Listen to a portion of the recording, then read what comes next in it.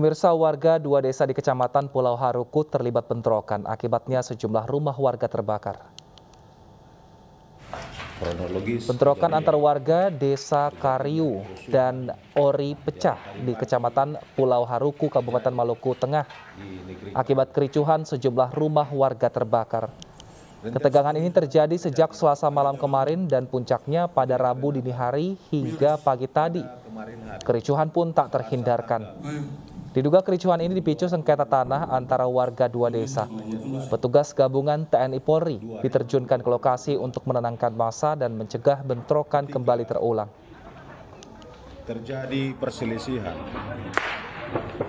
Tapal Beralih ke informasi lain, pemirsa Bandara Halim Perdana Kusuma resmi ditutup hari ini dalam rangka revitalisasi yang dilakukan hingga tiga setengah bulan ke depan. Sejumlah penerbangan dialihkan menggunakan lima bandara terdekat di Pulau Jawa. Hari pertama revitalisasi di Bandara Halim Perdana Kusuma Jakarta, situasi bandara terpantau sepi.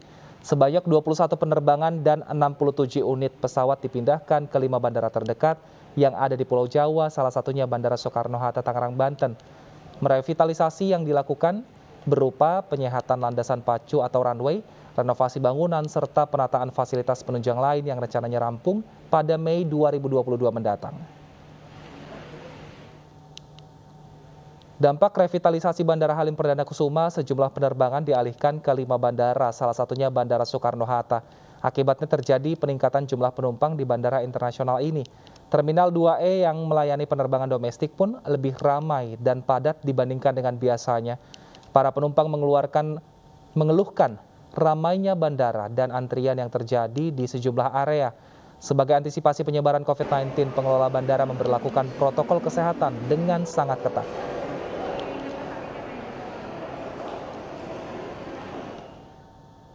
Ditutup per hari ini bagaimana jalannya kegiatan penerbangan di sejumlah bandara di Pulau Jawa sudah bersama kami Camar Haenda di Bandara Halim Perdana Kusuma dan Nadia Raisa di Bandara Soekarno-Hatta Tangerang Banten.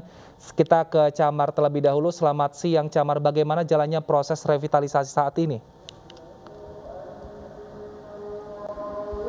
Ya, selamat siang Wilson dan juga pemirsa. Bandara Halim Perdana Kusuma di Cawang, Jakarta Timur resmi ditutup hari ini.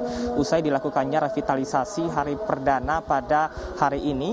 Ini sesuai dengan aturan dari Peraturan Presiden nomor 9 tahun 2022. Untuk uh, sejumlah aturan dan juga hal yang dilakukan adalah dimulai dari perbaikan drainase, kemudian juga perbaikan landasan pacu ataupun runway, dan juga sejumlah fasilitas penunjang lainnya.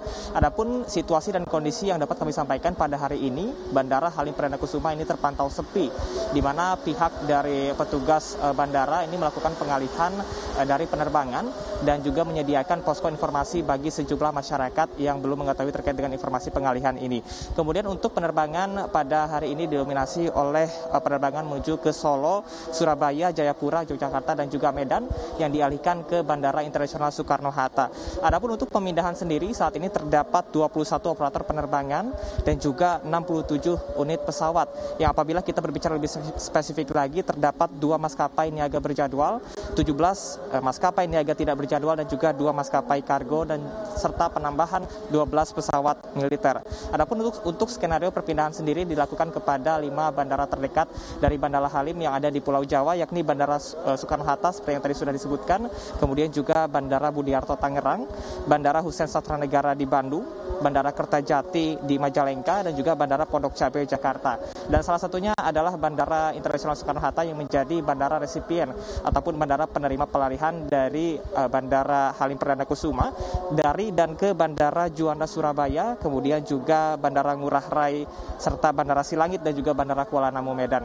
Adapun untuk informasi terkait dengan uh, nantinya di uh, Bandara Soekarno-Hatta untuk Batik Air dipindahkan ke Terminal 2 sedangkan untuk uh, maskapai Citylink akan dialihkan ke Terminal 3. Dan untuk mengetahui bagaimana situasi dari peralihan ini di Bandara Soekarno-Hatta, Tangerang, Banten, sudah ada rekan Nadia Raisa.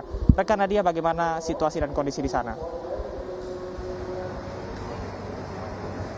Terima kasih Camar ya pemirsa untuk Bandara Soekarno-Hatta. Seperti yang sudah disebutkan tadi ada dua maskapai komersil yang dialihkan dari Bandara Halim Perdana Kusuma ke sini, yaitu Batik Air dan juga Citylink. Untuk Batik Air dialihkan ke Terminal 2E tempat saya melaporkan, sementara untuk Citylink dialihkan ke Terminal 3 domestik.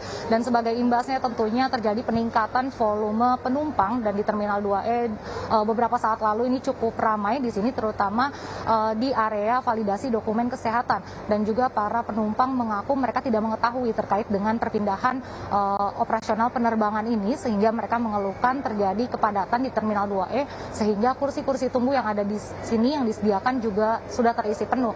Saya itu untuk hari ini memang terjadi peningkatan volume penumpang di mana hari ini di Terminal 2E ada 21.411 penumpang dengan 185 penerbangan di mana terjadi peningkatan 2.000 penumpang dan juga ada tambahan 21 penerbangan. Sementara untuk di Terminal 3 domestik itu ada 19.566 penumpang dengan 193 penerbangan di mana ada uh, terjadi peningkatan hampir 4.000 penumpang dan juga penambahan 37 penerbangan. Dan uh, selain dari uh, maskapai komersil juga ada maskapai niaga tidak berjadwal yang dialihkan dari Bandara Halim Perdana Kusuma ke Bandara Soekarno Hatta yaitu tepatnya ke uh, Apron Terminal 1 dan juga ke hanggar GMF Aero uh, Asia.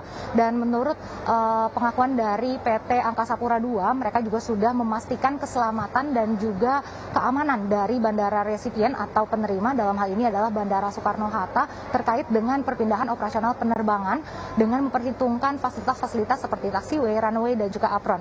Kembali ke studio Wilson. Nadia Raisa melaporkan dari Bandara Soekarno-Hatta Tangerang, Banten dan Camar Haenda melaporkan dari Bandara Halim Perdana Kusuma Jakarta. Terima kasih, selamat bertugas kembali.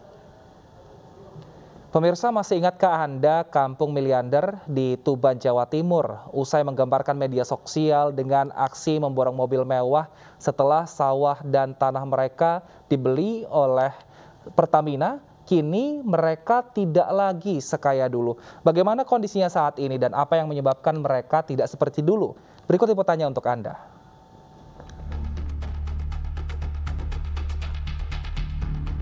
Beberapa waktu lalu warga di Desa Sumur Geneng, Kecamatan Jenu, Tuban, Jawa Timur, mendadak mendapatkan rezeki nomplok akibat terkena dampak proyek strategi nasional pembangunan kilang minyak. Warga di kampung tersebut menjual tanahnya ke perusahaan dan mendapatkan uang miliaran rupiah. Bahkan mereka membeli beberapa mobil mewah.